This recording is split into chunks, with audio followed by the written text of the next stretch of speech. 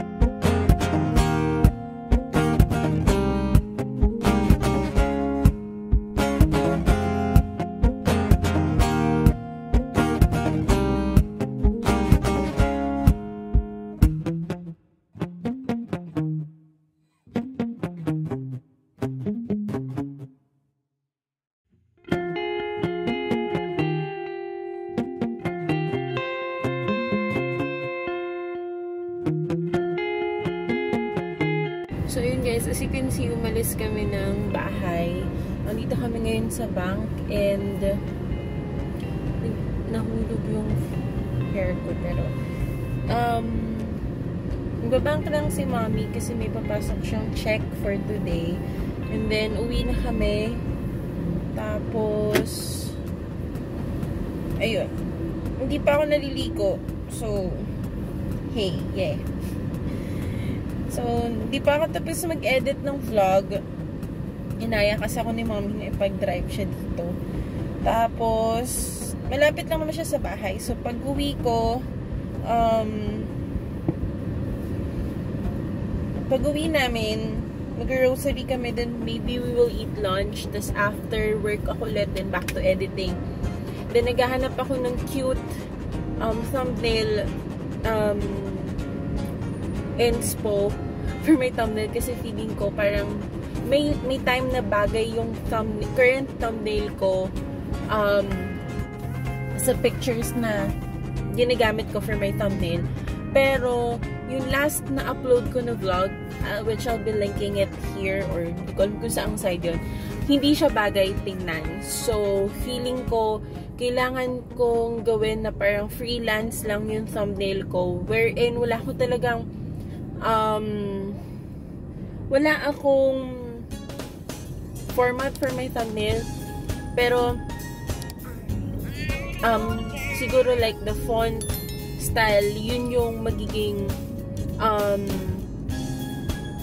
hindi, yung font style siguro yun yung pwede kong gawing constant sa mga thumbnails ko. Pero yung the layout of the whole thumbnail, feeling ko dapat freelance lang. Wala akong wala akong specific na design for my thumbnail. Para mas aesthetic tingnan. Tama ba ako tawag doon? Aesthetic tingnan. Pero yun. Um, yeah, so, actually, hindi pa ako nagkugutom. Pero after work, most probably, bukas, every, tatry ko ulit mag everyday na vlog, mag daily vlog, tapos I'll upload it every 10 o'clock in the morning, Philippine time. So, tatry ko yon na kayanin. Sana kaya ko.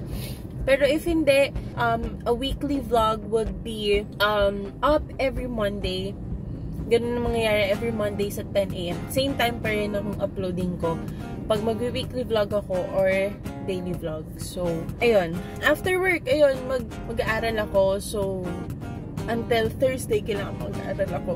And also yung mga assignments and other stuff. So, mag-report ako. Hindi ko pa rin nagagawa yung report ko. So, I'll see kung ano pa mga gagawin ko. Pero usually wala kasi naman talaga akong ginagawa. So, usually yung vlogs ko, paulit-ulit na lang siya, but sana hindi kayo magsawa. Pero if you have like suggestions, maybe you can comment it down below para I can check and who knows, baka gawin natin siya. Pero most probably, hindi na tayo mag-makeup tutorials. Or maybe I can just review some some some some some stuffs. God! So, ayan. Dito kami ngayon sa may bank. At nasilabas ako. Kasi si mami lang naman talaga pinapapasok ko. Kasi sa bank nila yan. Pero kung sa bank ko, usually, ako talaga papasok. Or mga kailangan ako kasi kasuin for the bank. Actually, naglinis ako sa sakin kahapon. Hindi ko na pinakita sa vlog. Pero nakalimutan kong mag-vacuum. So, ngayon, meron akong buhok dito ni Coffee. Nakikita nyo ba? Kita ba sa camera or hindi? Pero, ayan o, buhok ni Coffee. Kasi nung nag-vet nga kami, sumisiksik siya sa akin. So, yung mga balahibo niya napunta sa akin. At pagsakay ko na sa sasakyan, napunta din sa sasakyan. Nakalimutan ko talagang mag, ano, mag vacuum kahapon. But, sa Sunday na lang ulit,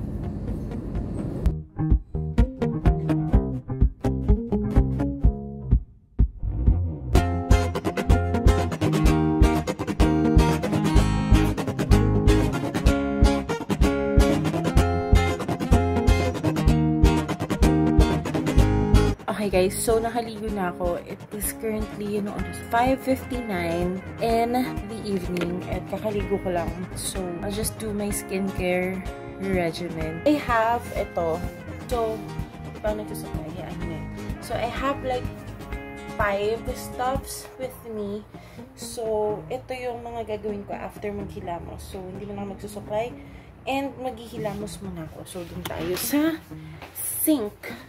Kasi yun yung step 1 ko is to wash my face with this. This is the Skin Clear Facial Foam Cleanser. So, ayan. Ganyan siya kalaki, guys. Almost ganyan. So, so magwa-wash tayo ng face. Ang pangit ng lighting sa bahay.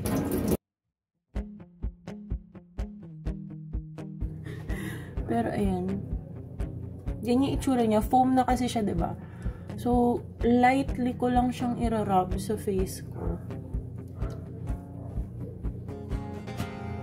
Make sure na hanggang dito. Mini-make sure ko hanggang dyan. Kasi, syempre,